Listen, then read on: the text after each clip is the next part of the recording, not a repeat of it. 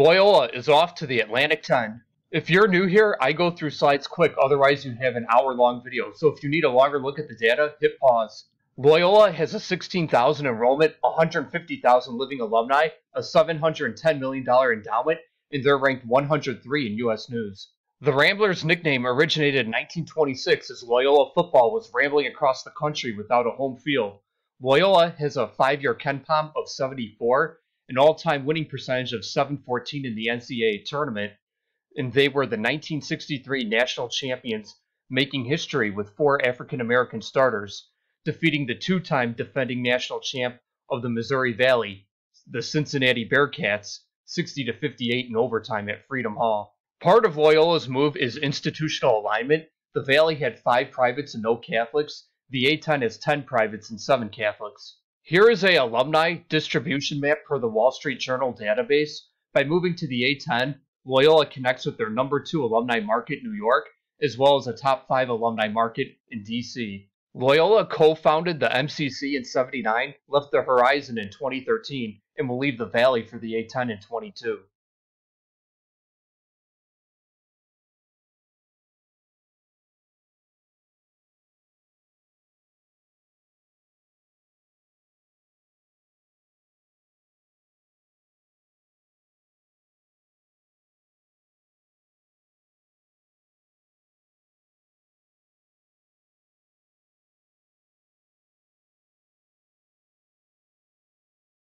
Loyola will become the 11th private and 8th Catholic in the A10.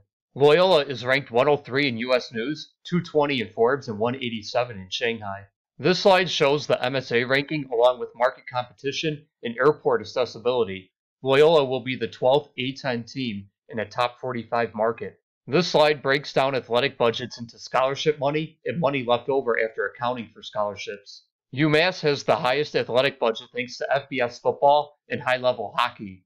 After isolating scholarship money, the next highest athletic budgets are Dayton, VCU, and Richmond. All A10 men's basketball budgets rank between 61st and 135th. Dayton is number one, followed by SLU, VCU, and Duquesne. For rolling three year attendance pre COVID, Dayton towers over everyone, followed by VCU, SLU, Richmond, and Rhode Island.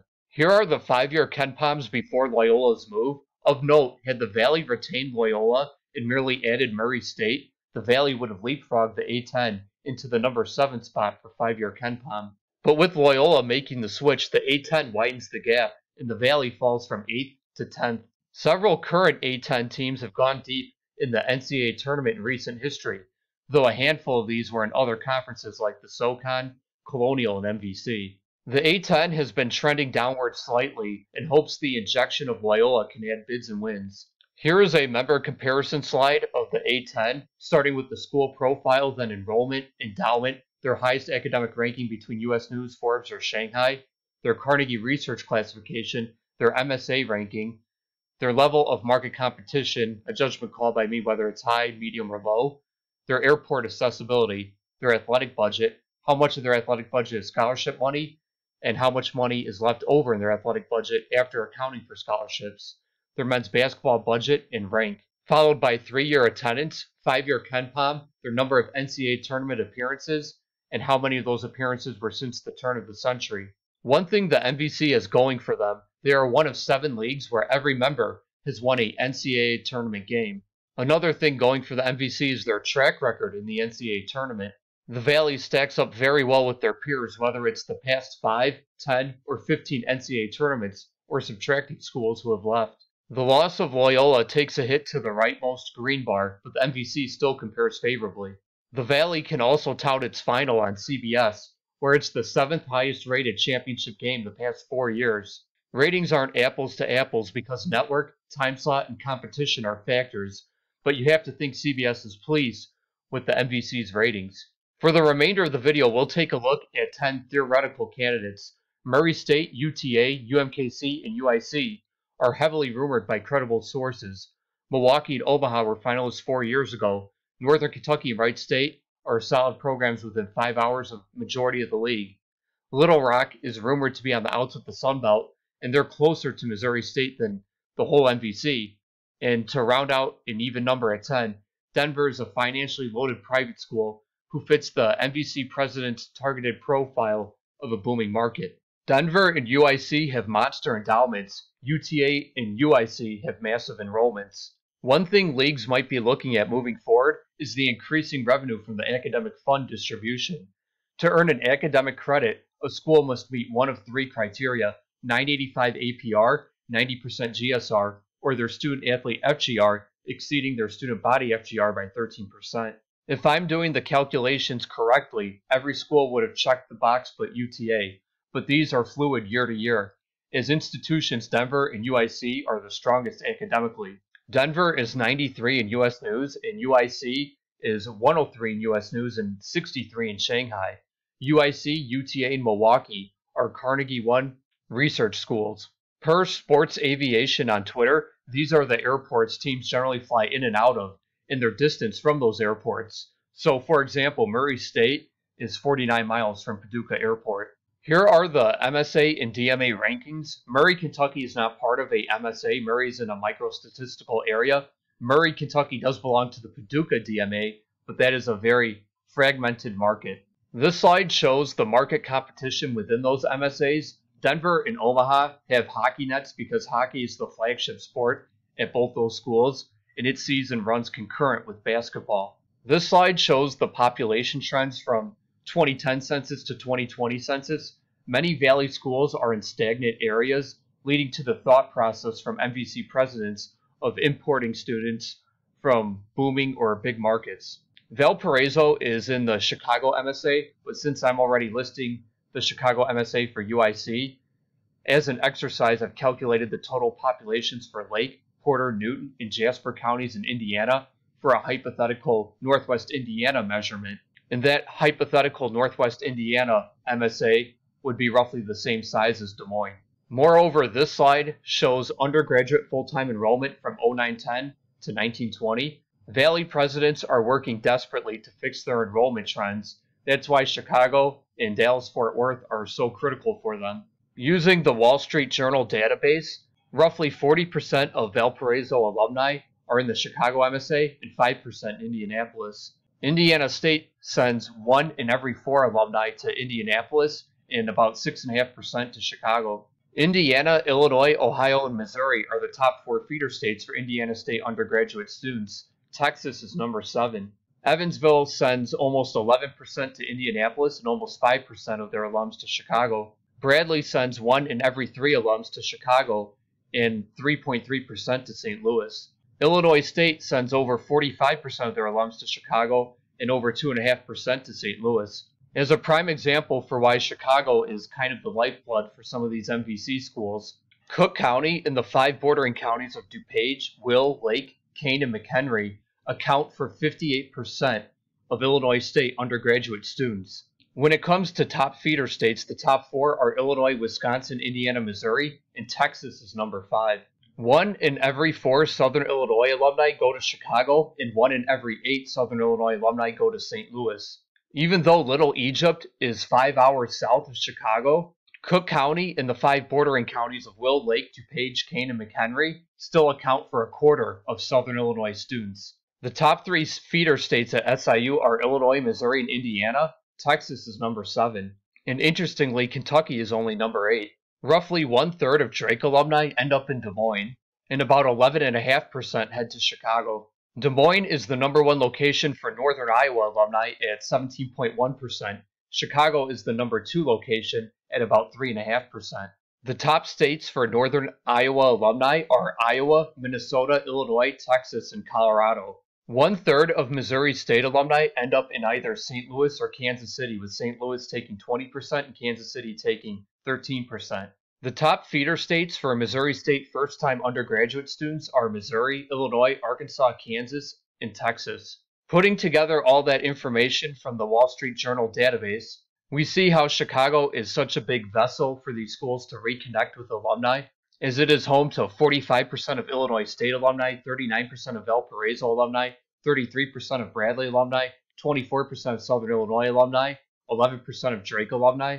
St. Louis is home to 20% of Missouri State alumni, 13% of Southern Illinois alumni. Indianapolis has a similar effect with the Indiana schools and Des Moines with the Iowa schools. Kansas City is home to 13% of Missouri State alumni. Dallas Fort Worth has a 1% share of alumni of every MVC school. Same for Denver, with the exception of Indiana State. Milwaukee has above a 1% share for three MVC schools Cincinnati and Louisville, Omaha and Minneapolis St. Paul for two, and Nashville and Detroit for one. Denver has the highest athletic budget of all the candidates, but that's spent on a lot of sports other than basketball. Omaha is second, but that's inflated by hockey. So the top athletic budgets of the non-hockey schools are UIC, UTA, and Murray State. Otherwise, the other five candidates would not rank in the top nine of the MVC. Wright State has a men's basketball budget that would rank top three in the Valley, UIC in the upper half. Murray State Northern Kentucky's men's basketball budgets would fit in the Valley, but the remainder of the candidates would be outside the top nine in the MVC. A common talking point is who is the next Loyola? Well, given Loyola's location and wealth, in all likelihood, there's no way to replicate another Loyola.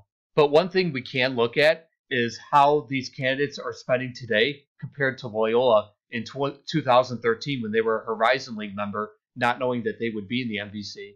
We take Loyola's men's basketball budget in that year and factor in inflation to give us the equivalent budget to today. And UIC is spending identical today to what Loyola was back then, accounting for inflation. Wright State is spending 14% above that level. Everyone else is 10 to 52% below.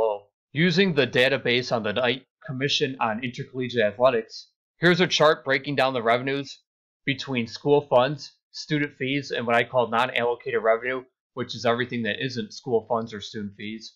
I have a hockey net for Omaha to signify that their non-allocated revenue is inflated by hockey. Otherwise, Murray State has the highest, and it's important to note that the Knight Commission only has these numbers for public schools. And in this graph, the orange is non-allocated revenue, the dark blue is student fees, and the light blue is school funds. Using that same database, here are the numbers for ticket sales, donor contributions, and sponsorships and licensing. They all add up to a cumulative number that I call self-generated revenue, Omaha has the highest, but once again, that's inflated by hockey as they nearly triple men's basketball attendance. In fact, Omaha has gone multiple years selling out every game in hockey. Otherwise, Murray State has the highest ticket sales and self generated revenue among the candidates. The orange represents ticket sales, the dark blue donor contributions, and the light blue sponsorships and licensing. Here are the three year rolling attendance average pre COVID. Murray State's attendance would rank top four in the Valley. Wright State would be right in the middle. Northern Kentucky would fit. Otherwise, the remaining candidates would rank below the floor of the MVC. This slide shows the 10-year KenPom. Murray State would be top three in the MVC. Northern Kentucky and Wright State and UTA would be middle of the pack. Everyone else would rank below the Valley floor. Here are the NCAA tournament bids and wins, and in parentheses, it's divided between pre-85 and post-85 when the tournament expanded to 64 teams. Murray State has the most bids. Bradley has the most wins. But when you narrow it to wins post 85, Northern Iowa and SIU are on top, followed by Murray State. And winning in the NCAA tournament is important because it generates 2 million in counting in future years for your conference. Here's a one-sheeter comparing the candidates. The first three columns are ticket sales, donor contributions, and sponsorships and licensing, adding up to the fourth column of self-generated revenue. The fifth column is non-allocated revenue, which is the revenues after school funds and student fees have been subtracted then athletic budget, then men's, bas- men's basketball budget and their rank, then airport accessibility, then their U.S. News ranking and their Carnegie Research classification, endowment, enrollment, their undergraduate full-time enrollment and 10-year trend, their MSA ranking and 10-year trend. The next three columns are how many MVC schools have above 9% of their alums in your market, then 3 to 9%, then above 1%. And the final columns are three-year attendance, 10-year KenPom, and NCAA tournament bids and wins. Omaha would have a tough time getting into the MVC because they have a men's basketball budget that's outside of the top 300. Little Rock's problem is location and demographics. No MVC school has 1% of their alumni in Little Rock. And so, with Little Rock being out of the footprint and not having any real connectivity to MVC alums, they would need to be a big booming market to compensate for that, like Dallas Fort Worth. So it's something that is not Little Rock's fault, and it's not something they can really fix. Little Rock does have potential as a program, is they're hitting that sweet spot with their market size. The Little Rock market is close to as big as you can get with pretty much no market competition So if Little Rock were to ever become a juggernaut among mid majors, they could really dominate the sports dollar. Kansas City is appealing to the MVC because they have a healthy enrollment, strong academics. It's a hub for Missouri State alumni, and it's a desirable recruiting pipeline for the MVC. But the risk is their fan support, their historical track record on the court, and their budget and ability to generate revenue. They have the lowest ticket sales of all candidates at 115,000. If what is happening with Valley expansion in 2021 was happening back in 2011 or 2006, Milwaukee would be in the MVC because Milwaukee offers pretty much everything that you would want. Strong academics, healthy enrollment, good market that adds a city and state that would be valuable territory for MVC recruiting both for general students and student athletes. And they were really good in the Bruce Pearl in early Rob Jeter years, going to a Sweet 16 under Bruce Pearl, winning an NCAA tournament game under Rob Jeter, and in 2011 winning the Horizon League, being the one seed and hosting a sold out Mecca for the Horizon Final. They would lose to Butler, who they actually swept in the regular season, and Butler would go all the way to the national title game. Unfortunately, Milwaukee's program has imploded in the last five to ten years, and that has had a trickle down effect on their budget, in their revenue, and their ticket sales.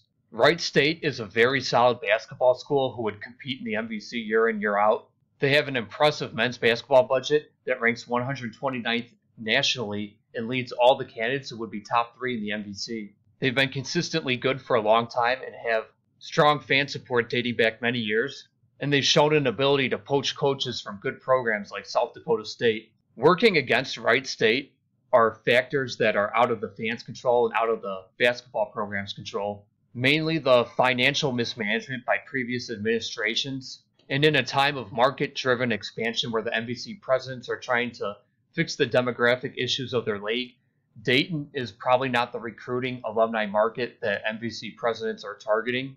Denver is a very wealthy private school with a monster endowment that leads all candidates and would lead the MVC. They're a top 100 school academically, and they're in a top 20 market that's booming in population growth and Denver's enrollment is growing accordingly. It's also beneficial that eight MVC schools have at least 1% of their alumni living in Denver. Denver also has the highest athletic budget of the MVC or any of the candidates, and they've won 12 Directors' Cups in the last 13 years. What's working against Denver is that they just don't seem very committed to men's basketball. Their priority is on other sports, like hockey, where they've been a blue blood since the late 50s. And like stated with Omaha, it's very rare for schools without Power 5 or Big East resources to sustain success simultaneously in hockey and men's basketball. And another thing to keep in mind is that expanding into Denver might not have the intended effect of drawing more general students, as Colorado students typically go west. Northern Kentucky plays in one of the best mid major arenas. They're in a top 30 market. They have strong fan support. They've had a 135 KenPom and 686 winning percentage post transition, and they're located within about five hours of seven MVC schools. The biggest thing working against Northern Kentucky is probably that they're too far east for Drake, Northern Iowa, and Missouri State recruiting for general students, and those three schools seem to be playing a big role in expansion. UT Arlington is a good school academically with a massive enrollment. They're in the number four MSA in the country, and if the Valley were to add UIC and UTA, suddenly they would be one of four leagues across the country to be in two of the top four MSAs. UTA has been expanding rapidly as a school, and at least 1% of every MVC school's alumni reside in Dallas Fort Worth. UTA has a healthy athletic budget and they opened a $78 million arena in 2012. Working against UTA is the very high market competition and their fan support. They would also need to raise their men's basketball budget, which is currently outside the top 200. Like UT Arlington, UIC is also facing extreme market competition, and UIC could use a boost in fan support and ideally would fix their on the court product. But despite all that, UIC might be a must have for the MVC as many Valley schools survive on the Chicago pipeline. Many MVC schools need as many students from Chicago as possible to survive. Illinois goes back and forth with New Jersey as the biggest exporter of college students of any state in the country. And the biggest recipients are Indiana, Iowa, and Missouri, which happens to be the MVC footprint. Even though general student recruiting is the driver, it's not just that. It's also that Chicago basketball recruiting is similar to Texas football for recruiting. UIC as an institution has a massive enrollment, a huge endowment, very strong academics, 103 in US News, 63 in Shanghai, R1 Carnegie Research School. Their full time undergraduate enrollment has grown by 28% over the past decade. Seven Valley schools have over 5% of their alumni in Chicago. And UIC's athletic budget would rank fourth in the MVC, while their men's basketball budget would rank fifth in the MVC. And as previously stated, their men's basketball budget, adjusting for inflation, is identical to Loyola's men's basketball budget when they joined the Valley. And my number one candidate, Murray State. Things that might be held against Murray State are academic rankings, airport accessibility, market, and demographics. They don't really fix the demographic problem that MVC presidents are desperate to rectify.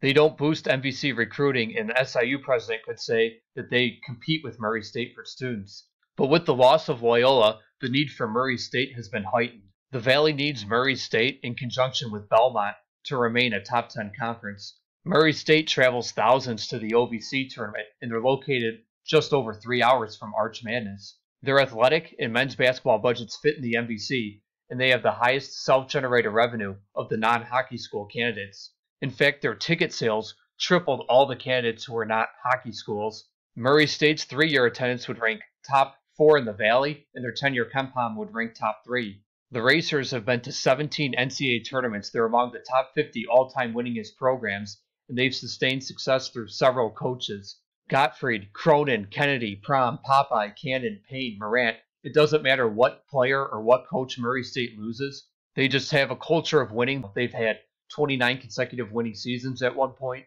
They have a culture of fan support that spans generations, where the identity and the claim to fame of the community is the basketball team. Winning a game in the NCAA tournament is worth 2 million and counting for your league.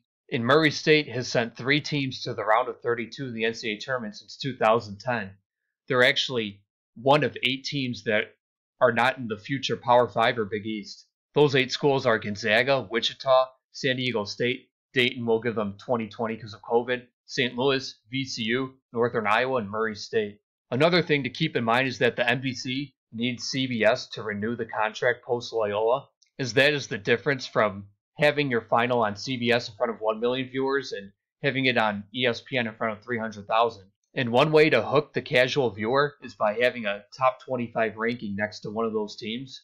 And Murray State has entered the OVC final with a top 25 ranking twice in the past decade. So if I'm running the MVC, I'd use Murray State to remedy the loss of Loyola on the court and use UIC and Texas Arlington to remedy the league's demographic issues for the university presidents. And for the fourth school, I'd do a little bit of both by adding Northern Kentucky, a good program in a top 30 market.